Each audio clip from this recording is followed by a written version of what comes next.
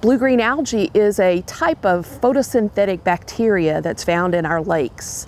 And it can be also other colors. It's not necessarily always blue-green, but it's something that uh, we see a lot of in the summertime in various places in Indiana.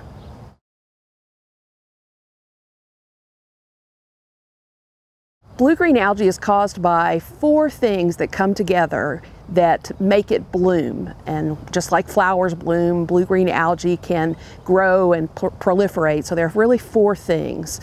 One is sunlight. Two is water that doesn't move very much. Three is water temperature, and then four is nutrients. So that's the things that come into the water that provide food for the algae and make it grow and bloom.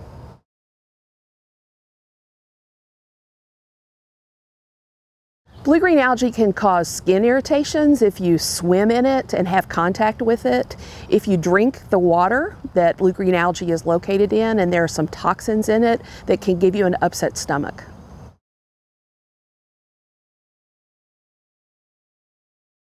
Pets can be made sick by blue-green algae. There's really two ways. They drink the, if they drink the water, then they can get it into their system. If there's toxins in the water from the blue-green algae, they can also lick the algae off their fur. So it's important if there's algae and toxins in the water to keep your pets out.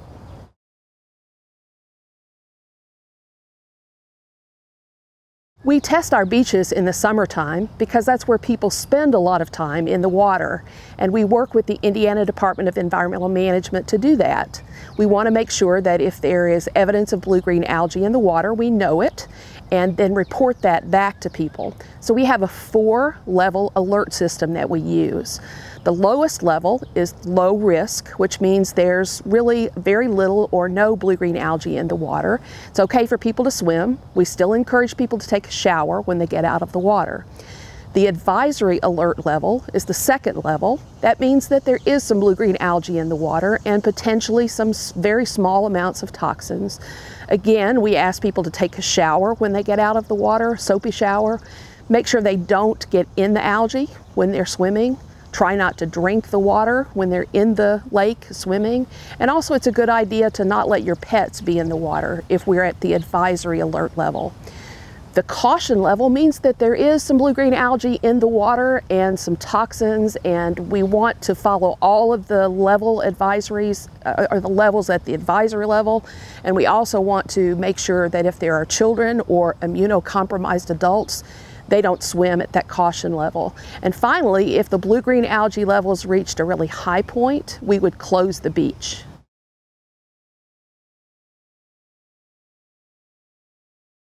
Blue-green algae is found in lakes and rivers and streams in Indiana and actually in many other parts of the country as well.